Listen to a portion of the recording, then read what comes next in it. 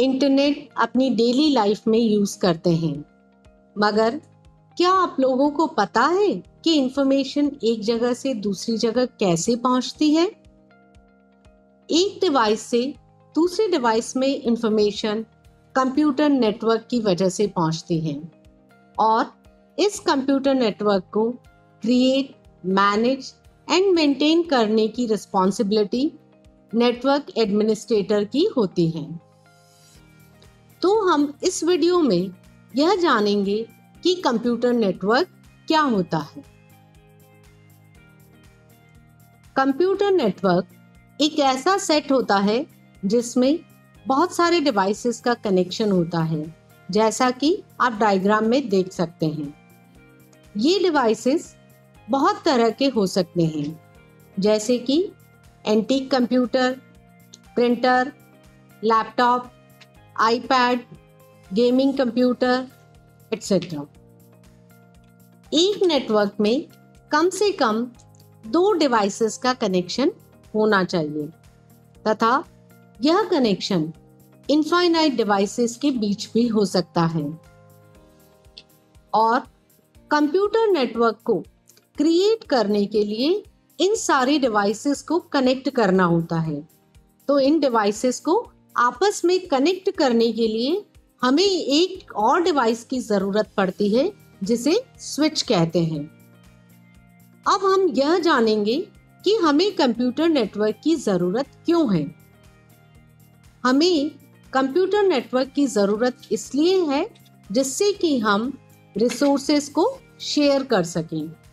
Resources कई प्रकार के हो सकते हैं, जैसे कि hardware resources such as printers scanners software resources such as licences cloud based applications और information in the form of email chat messages etcetera आप इस एग्ज़ाम्पल में देख सकते हैं कि इस नेटवर्क में चार यूज़र्स हैं, जो एक दूसरे के साथ अलग अलग रिसोर्सेज को शेयर कर रहे हैं। हर यूज़र को उसके रिक्वायरमेंट के हिसाब से अलग अलग रिसोर्सेज मिल सकते हैं। इन सारे यूज़र्स का वायर्ड नेटवर्क बनाने के लिए इन सभी के सिस्टम को हमें एक सेंट्रल डिवाइसेस से कनेक्ट करना होगा। वह डिवाइस इस स्लाइड में स्विच है।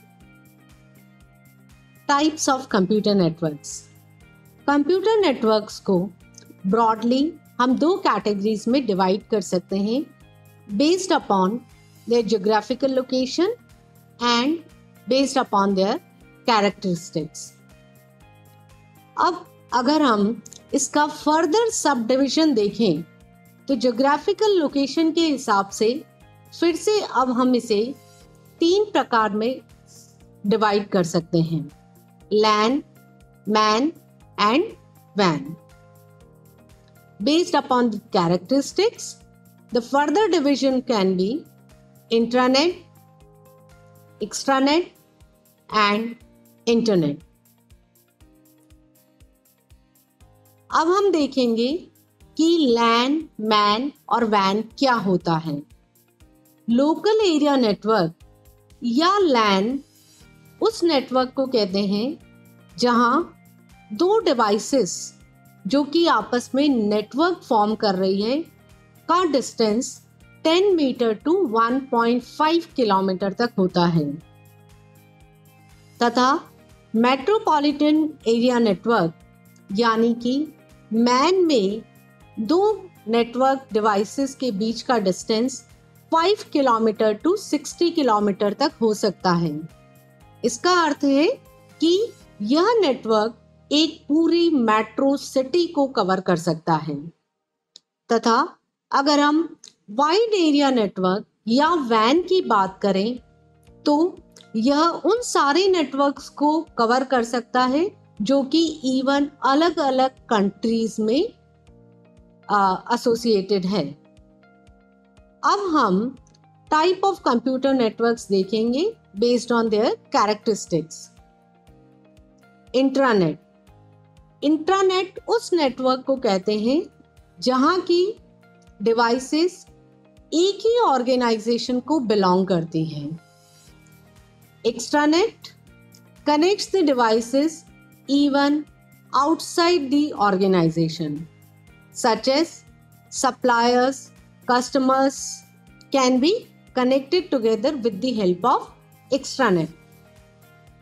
तथा इंटरनेट में वह सारा नेटवर्क आ जाता है जो कि अक्रॉस द वर्ल्ड की डिवाइसेस को कनेक्ट करता है तो इस तरह से हम कह सकते हैं इंटरनेट क्या है it interconnects thousands and millions of computing devices including PCs, laptops, workstations, servers, smartphones, tablets, TVs, environmental devices, automobiles, security camera and many more. तो जैसा कि आप इस पिक्चर में देख सकते हैं कि ये सारी डिवाइसेस वर्ल्ड के अलग अलग पार्ट में एसोसिएटेड है लेकिन फिर भी इंटरनेट की हेल्प से ये आपस में कनेक्टेड हैं